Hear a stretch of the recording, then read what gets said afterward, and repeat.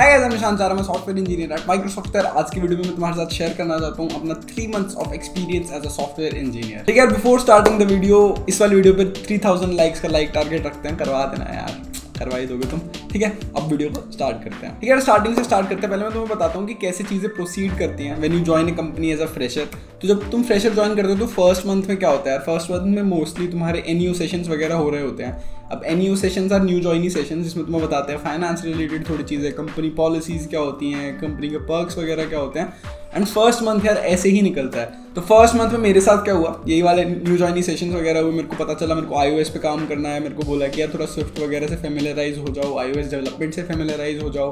तो वो बेसिक चीज़ें सीख लो। And first month was all about this कि चल क्या रहा है लाइक like, होता क्या है चीज़ें वर्क कैसे करती हैं थोड़ा गेट वगैरह सीख लो। गेट इज़ रियली इंपॉर्टेंट मतलब। वो तो आना ही चाहिए क्योंकि वर्जन कंट्रोल तुम हर जगह यूज़ कर रहे होते हो। तो। यही था फ़र्स्ट मंथ में ऑलमोस्ट यही सारी चीज़ें हो रही होती हैं। और फन पार्ट भी बहुत सारा होता है। गुडीज आ रही होती हैं। गुडीज को तुम खोल रहे होते हो, तुम्हें नई नई चीज़ें मिल रही होती हैं। एंड फ़र्स्ट मंथ के बाद जो फ़र्स्ट सैलरी आती है ओ हो हो हो हो भाई, उसकी तो फीलिंग अलग होती है। उसके बाद यार सेकेंड मंथ पे आ जाते हैं हम। अब सेकेंड मंथ में यार थिंग स्टार्ट टेकिंग शेप तुम्हें थोड़ा बहुत काम मिलना स्टार्ट हो जाता है, ठीक है? तुम्हें बोला था कि तुम फेमिलराइज हो जाओ जिस टेक स्टैक पे तुम्हें काम करना तो तुम हो गए होते हो पंद्रह बीस दिन में, एक महीने में, थोड़ी बहुत चीज़ें तुम्हें आ गई होती हैं। फिर तुम्हें बेसिक बेसिक चीज़ें देना स्टार्ट कर देते हैं तो कुछ डॉक्यूमेंटेशन दे देंगे कि डॉक्यूमेंटेशन कर दो चीज़ों की। तुम्हें थोड़े छोटे मोटे बग्स दे देंगे यू आई चेंजेस दे देंगे, अगर तुम ऐसी किसी फ्रंट एंड टीम में हो, या फिर किसी फुल स्टैक टीम में हो, कि यार ये चीज़ चेंज करके देखो, ये चीज़ हटा के देखो, ताकि तुम कोड बेस से थोड़ा फेमिलियराइज हो जाओ। कि एक्चुअली कोड वर्क कैसे कर रहा है चीज़ें वर्क कैसे कर रही हैं। एंड उसके बाद you start having session with your managers one on one तुम्हारी मीटिंग्स होनी स्टार्ट हो जाती है मैनेजर के साथ एंड स्क्रम वगैरह तो, तो होती है यार। अब फ़र्स्ट मंथ में स्क्रम में तुम बस बैठे बैठे सुन रहे होते हो क्योंकि तुम्हें ज़्यादा कुछ समझ आ नहीं रहा होता ज़्यादा पल्ले पड़ नहीं रही होती चीज़ें। बिकॉज़ भाई कैसे समझ आएँगे मतलब चल रहा है वहाँ पे कुछ ना कुछ तुम्हें क्या पता। बट सेकेंड मंथ में चीज़ें थोड़ी चेंज हो जाती हैं।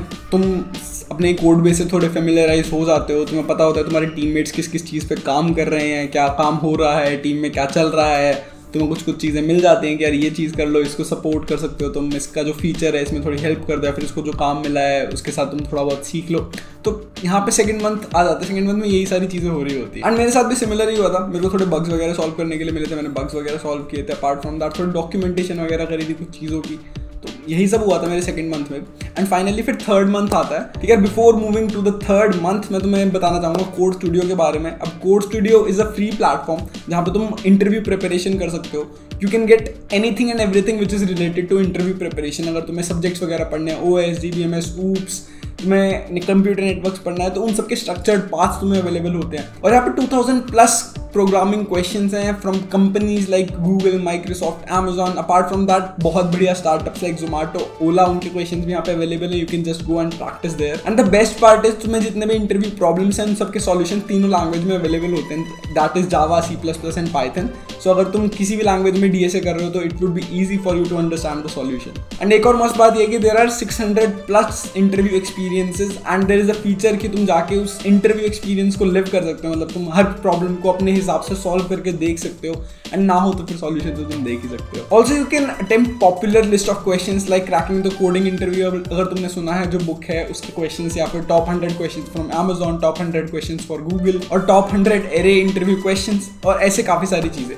So the link to the platform is in the description do check it out अब आगे बढ़ते हैं वीडियो की तरफ़। एंड थर्ड मंथ आने के बाद थोड़ी चीज़ें और स्ट्रक्चर्ड हो जाती हैं, तुम्हें काफ़ी ज़्यादा नॉलेज होती है, काफ़ी ज़्यादा नहीं बट नॉलेज होती है कि क्या चल रहा है टीम में तुम लोगों से कनेक्ट कर चुके होते हो, तुम लोगों से हेल्प मांगने में झिझकते नहीं हो स्टार्टिंग में इट्स लाइक यार, कैसे मांगूँगा मैं हेल्प कैसे बोलूँ नहीं कि यार मेरे को ये समझ नहीं आ रहा, मैं कैसे पूछूँ? बट उसके बाद तुम थोड़े कंफर्टेबल हो जाते हो, तुम इजीली हेल्प मांग पाते हो। इसके साथ यार तुम्हारे ऊपर एक्सपेक्टेशंस भी आ जाती हैं लाइक तुम्हारे मैनेजर तुमसे एक्सपेक्ट करने लग जाते हैं कि अच्छा अब इसको चीज़ें आ गई हैं तो ये कुछ चीज़, नई चीज़ डिलीवर कर पाएगा इसको कोई टास्क मिलेगा तो ये कंप्लीट करेगा, अकेले।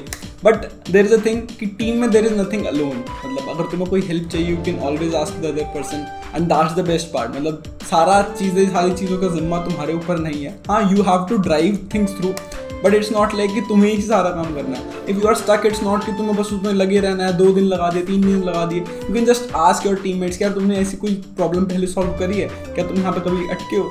एंड इफ़ दे हैव तो वो जो दो घंटे का या दो दिन का काम था, वो तुमने दस पंद्रह मिनट में निपटा दिया राइट तो यही फ़ायदा होता है टीम का। एंड इफ़ योर टीम के साथ तुम बातचीत करोगे, थोड़ी ये वाली चीज़ ईजी हो जाती है। And the good thing I love about software engineering या फिर सॉफ्टवेयर कंपनीज़ जो एनवायरमेंट होता है ना काफ़ी हेल्पफुल होता है। If you don't know something people will help you out तुम्हें बताएँगे अच्छा यार, यहाँ से समझ नहीं आ रहा तो यहाँ से देख लो। या फिर तुम्हें नहीं आ रहा तो मैं बता देता हूँ। ये वाली चीज़ें काफ़ी सही होती हैं। ठीक है but there are some misconception की सॉफ्टवेयर डेवलपर यार ये सारी चीज़ें कर रहे होंगे या फिर ये सब करते रहते होंगे, वो ऐसा नहीं है। उनको भी मैं तुम्हारे मिथ्स को थोड़ा क्लियर करना चाहता हूँ। पूरे दिन कोड कर रहे होते हैं पूरे दिन बस कोडिंग कोडिंग हो रही होती है, बस ऐसा नहीं होता। ठीक है? यू कोड बट तुम्हारी काफ़ी सारी मीटिंग्स वगैरह होती हैं, तुम पहले डिसाइड करते हो अच्छा मेरे को ये चीज़ करनी है, कैसे बनानी है, थोड़ा डिज़ाइन वगैरह करते हैं। And finally then you sit and code ऐसा नहीं कि बस पूरे दिन आठ आठ नौ नौ घंटे बस बैठे लैपटॉप के सामने कोड कर रहे हैं कोड कर रहे हैं। नहीं होता you might have to learn a new tech stack जो तुमने कॉलेज में पढ़ा था, जो चीज़ तुमने पढ़ी थी, जैसे तुमने वेब डेवलपमेंट मैंने वेब डेवलपमेंट करी थी but I got I O S so it is like कि तुम्हें अगर एक सॉफ्टवेयर इंजीनियर किसी कंपनी ने ऑन बोर्ड किया है तो you will have to learn a new tech stack whenever it is required तुम्हें नई चीज़ें सीखनी पड़ेंगी. That's why companies ask D S A question not a particular tech stack in an interview because उन्हें पता है कि अगर तुम ये वाली चीज़ सीख पाए ना तो तुम कुछ भी नया आराम से सीख पाओगे. यार gelling with your team mates is really important तुम कितना ईजिली उनसे कम्युनिकेट कर पा रहे हो, उनसे प्रॉब्लम्स पूछ पा रहे हो, बात कर पा रहे हो, वो काफ़ी ज़्यादा इंपॉर्टेंट हो जाता है. बिकॉज़ अगर तुम कहीं स्टक रहोगे और तुम बात ही नहीं कर पा रहे लोगों से तो दैट इज़ रियली डिफ़िकल्ट इसलिए कम्युनिकेशन स्किल्स को भी एक बहुत इंपॉर्टेंट पार्ट माना जाता है ड्यूरिंग योर टेक्निकल इंटरव्यू एक और इंपॉर्टेंट बात it's not a one man job तुम्हें अकेले सारी चीज़ें नहीं करनी है। तुम्हें कोई टास्क दिया है इट इज़ नॉट कि तुम्हें वो सारा टास्क अकेले ही करना है। You have to drive it but you can ask for help तुम्हें कोई चीज़ समझ नहीं आ रही है फिर तुमने कोई पार्ट उसमें ऐसा है कि तुमने नहीं कर रखा है पहले।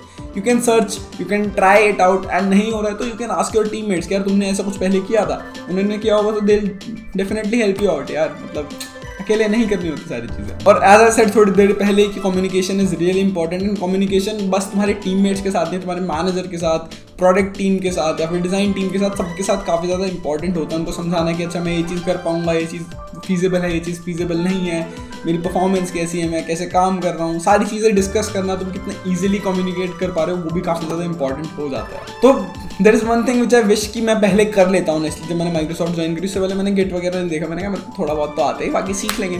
बट आई थिंक कि वो पहले सीख लेना चाहिए तो उससे काफ़ी ज़्यादा बढ़िया रहता है। I advice you guys to like learn Git if you are joining a company soon like अगर कुछ टाइम बाद तुम कंपनी ज्वाइन कर रहे हो इंटर्नशिप के लिए या फुल टाइम के लिए तो ये काफ़ी लाइक मस्ट हैव चीज़ है, क्योंकि वहाँ तुम वर्जिन कंट्रोल पे काम पक्का कर ही रहे होगे। एंड भाई, ये तो मिथ्स हो गए, अब गुड पार्ट बता दो तुम्हें, ठीक है? अब सबसे इंपॉर्टेंट मेन पार्ट तुम्हें पता है if you start working somewhere you get some salary ठीक है? तुम्हें सैलरी मिलती है you become more financially independent but financially independent होने के साथ यार, तुम पैसे को कैसे यूज़ कर रहे हो that is also important so if you want me to make some finance related videos also personal finance वाली तो डू कमेंट इट डाउन मैं वो भी बनाऊँगा। बिकॉज़ मैंने भी काफ़ी सारी नई नई चीज़ें सीखी हैं। मैंने स्टार्टेड वर्किंग पैसे कैसे मैनेज करते हैं क्या क्या चीज़ें होती हैं, ठीक है? स्टॉक्स क्या होते हैं म्यूचुअल फंड्स क्या होते हैं, ठीक है? पीएफ क्या होता है, ये, वो, बहुत सारी चीज़ें होती हैं। If you want videos on that do comment in the comment section उसके में भी वीडियोस वगैरह बना देंगे। But you are more financially independent तुम्हें दस बार सोचना नहीं पड़ता कोई एक नई चीज़ परचेज करने के लिए because you have that money in your bank तुम चीज़ें ले सकते हो, ज़्यादा सोचे बिना। परमिशन नहीं लेनी होती ज़्यादातर मतलब ज़्यादा महँगी चीज़ लोगे तो ऑब्वियसली घर वालों से परमिशन लेनी पड़ेगी।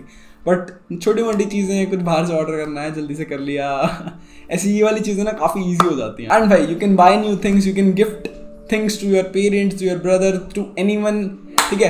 तो वो भी एक काफ़ी अच्छी फीलिंग होती है। तो फ़र्स्ट सैलरी से किसी को गिफ्ट देने वाली फीलिंग होती है that is really awesome and अपनी फैमिली को ट्रिप्स वगैरह पे ले जा सकते हो, तुम खुद ट्रिप्स पे जा सकते हो तो ये वाली चीज़ें बहुत बढ़िया होती हैं। अगर this was it for the video अगर वीडियो पसंद आई तो वीडियो को लाइक ज़रूर कर देना सब्सक्राइब कर देना। चैनल को तुमने अब तक नहीं किया है तो इतना ही था आज वाली वीडियो में। मिलते हैं नेक्स्ट वीडियो में। तब तक के लिए